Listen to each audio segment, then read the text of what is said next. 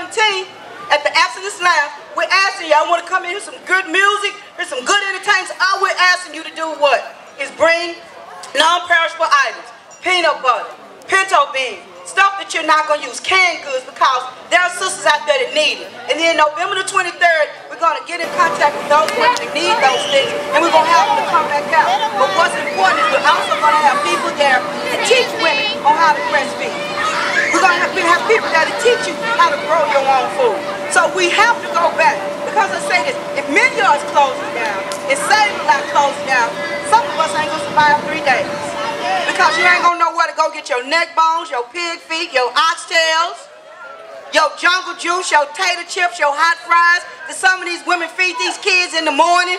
Here, baby, just take a bag of hot fries and go and go to school. What happened to oatmeal toast?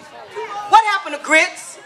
I tell you what happened. We have microwave mamas. And when I say microwave mamas, you got microwave hair, microwave nails, microwave eyelashes, and you feed your kids microwave food. And then you wonder why your kids are not going to school, why they're going to school and they're not getting a proper education. Because the mother is not properly educated. And Harambe starts, we have to start at home. We can do everything else. But we have to start at home. And so that's why we're going back to the home programs and doing the things that we started out, survival programs by the Black Panther Party. So we invite y'all to come on Facebook. Uh, what is it? What is it called? Uh, put it family first. Stay live entertainment. Put it family first. Uh, putting family first.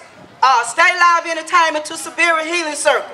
And y'all can go on Facebook and y'all uh, Facebook. But do this.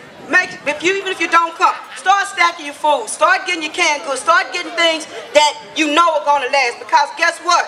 This is just a test. They played with you at first and everybody was kind of tripping out, but when it really, really happened, can y'all survive? Do y'all have enough food in your food pantry to last you a week? Do you? Do you? Can you survive? If they the lights, water, and gas off, can you survive? No, you wouldn't even know what to do. You'd probably start eating each other, knocking each other in the head. So that's what I'm saying. We got to get back to what's the basics. We got to start feeding our children because we cannot depend on anybody else to take care of, of who? Us. These babies are important. That's why it's important that you bring these babies to, to, to the uh, Harambee Festival. It's important that you even take them out there to Kwanzaa, no matter how crazy it is. That is our culture, and our kids need that. So we see y'all November the 17th at the Abstinence Lounge, and let us remember, ain't nobody coming to save us. We got to save who? Our damn self. Peace. That's Sister Olika Green. I'm Kata Truth, Chief of Staff, Dallas New Black Panther Party. Now what I like to do is introduce DB and company. Come bring us some more music.